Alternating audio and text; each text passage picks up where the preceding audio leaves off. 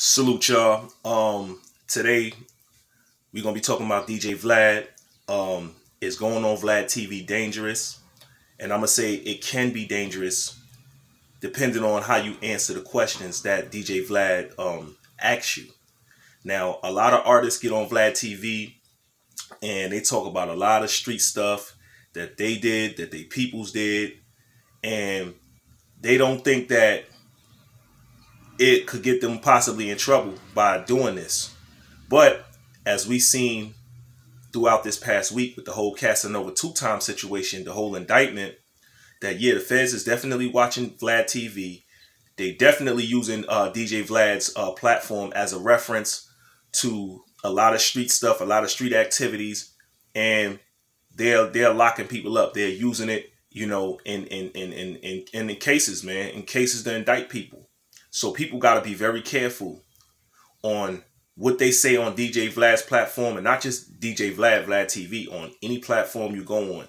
You got to watch what you say, especially a big platform like that. You have to watch what you say on Instagram. You got to watch what you do on all these social media platforms because, like I said, these people are watching.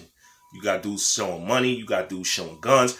You got to watch out. You got to watch yourself. And now, if you don't mind getting locked up, being away from your family, being away from people that you love, then cool. Keep doing what you're doing. But if you do, if you like getting money, if you want to keep emerging as an artist, actress, comedian, then you have to watch what you do. You got to watch what you say because them people is watching. and definitely locking people up. We see the whole A Boogie situation.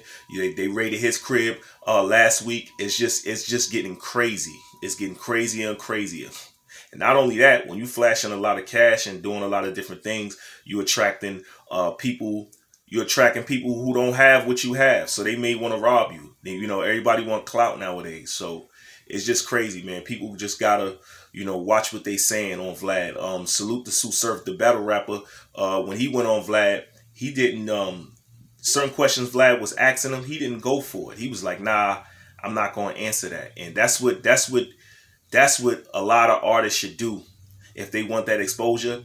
Force him to ask you about your music and things like that or what you got going on um, outside of the street stuff. Don't go too far into the street stuff, but a lot of people fall for it. And then sometimes Vlad will go around that question and that he asks just to get you to talk about it. It's another tactic uh, DJ Vlad uses, but a lot of people have to be wise, man. That's why a lot of people, uh, certain artists, did not go on his platform. Like like Little Reese from Chicago didn't go on his platform because he knew all Vlad wanted to ask him about probably was his shooting. Did he know who did it? Um, stuff about you know street activities, and and he just didn't want to. He didn't fall for it. He didn't want to do the interview. So, um, yo, artists just got to be careful with the whole and and the whole culture vulture thing. As far as um DJ Vlad is concerned, um, to a degree, I, I believe that you know he he just in it for um in it for self. That's that's all. You know, he's in it for self. Um, he's out to make money. So that's what it is. This this ain't this ain't nothing new. So artists just got to be smart. So that's that's my whole take on the Vlad situation. More videos to come. I'm out.